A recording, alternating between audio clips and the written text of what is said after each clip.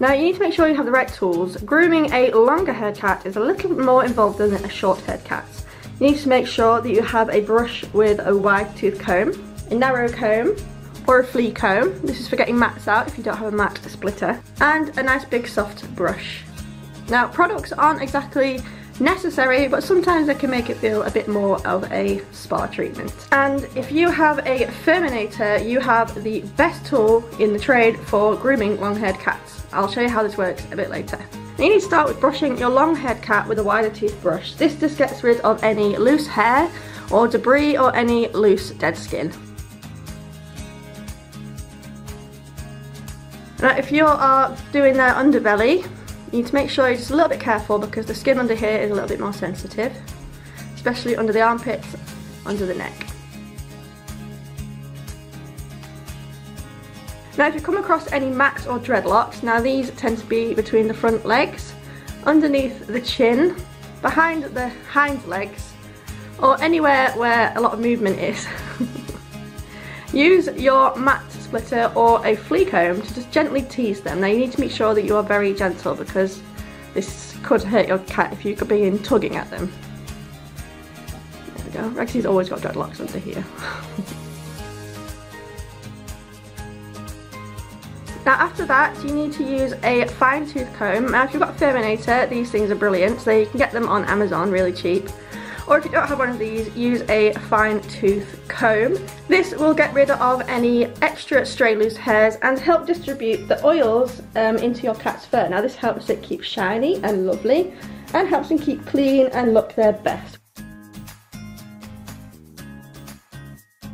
Now if you have any grooming gloves like this, it's a good idea to give them a quick once over to just make sure their fur is nice and smooth and pointing the right way. Cats hate it when, cat, when their fur is brushed the wrong way.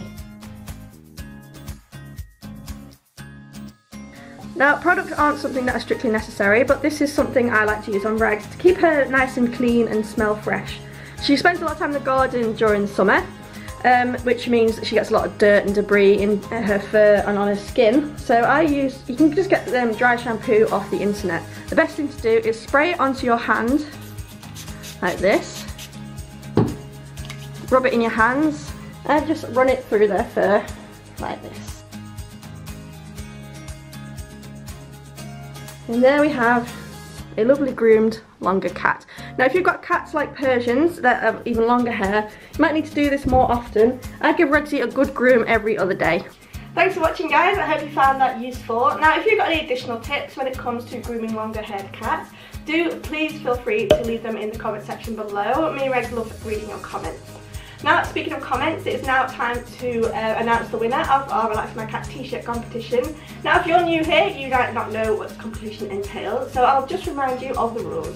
You need to make sure that you are subscribed to the channel and that you are a member of the notification squad by clicking that little bell button. That means you get a notification whenever one of our new videos comes out. And lastly, but most importantly, you need to remember to comment on this video in the first 60 minutes that is out. But now it's time to announce the winner of the competition this week. Now, do you want to pick a winner this week, Rexy? Yeah? Good choice. Congratulations to Chrissy Carr. You have won yourself a Relax My Cat t-shirt competition. Now, Chrissy commented last week that she has cat Daisy and Sparkle and she enjoyed the tutorial on teaching your cat a simple command. Thank you so much for commenting and congratulations on your t-shirt. Now all you need to do, Chrissy, is email us at relaxmycat at gmail.com with your size and your address and we'll send it over to you. Now don't forget, if you have social media and you get your t-shirt, please feel free to tag us uh, on Instagram and Twitter at, at relaxmycat. We love seeing people enjoying their t-shirts. Thanks again for watching guys. Rexy and I love having you here and we will see you next week. Bye!